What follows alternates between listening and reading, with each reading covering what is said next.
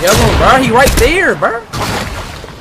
Bro, you should have killed him, bro. You died. Such a faggot.